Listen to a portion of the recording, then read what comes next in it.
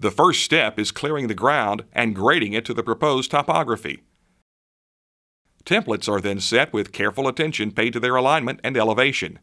The templates are custom made for the post that will be installed. Once the templates are in place, they are survey verified.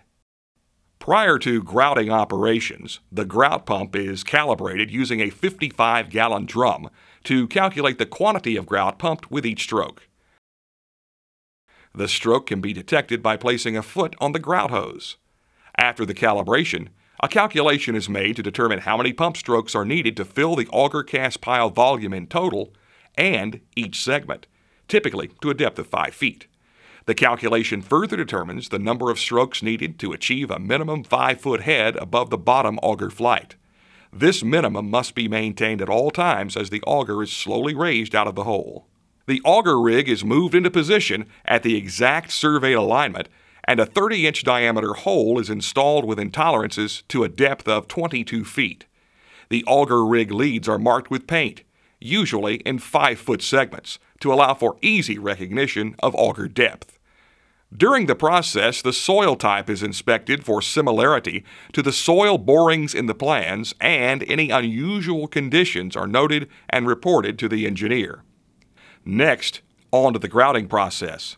The superintendent foreman, the inspector, and the crane operator gather in close proximity to facilitate communication.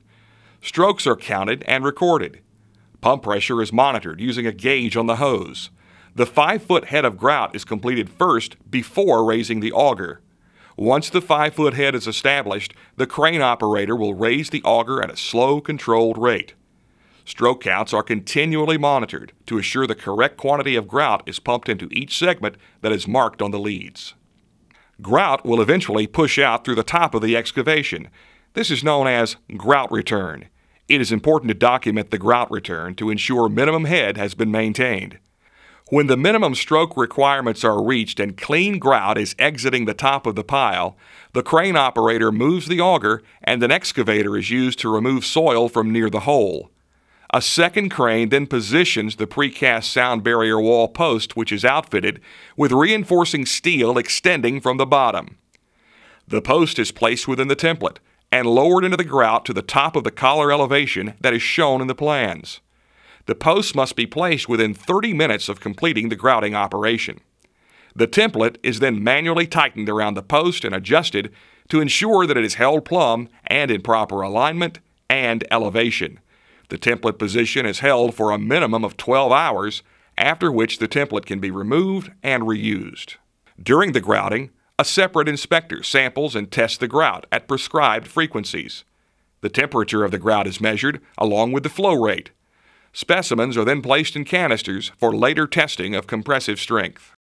For scheduling purposes, drilling to the needed depth typically requires 5 to 10 minutes depending on the depth and the soil conditions. The grouting work requires an additional 5 to 10 minutes. Depending on the experience of the crew and the template type used, the installation of the post requires up to 20 minutes. All told, it's typical for a contractor to install 5 to 20 auger cast piles and posts in a single workday.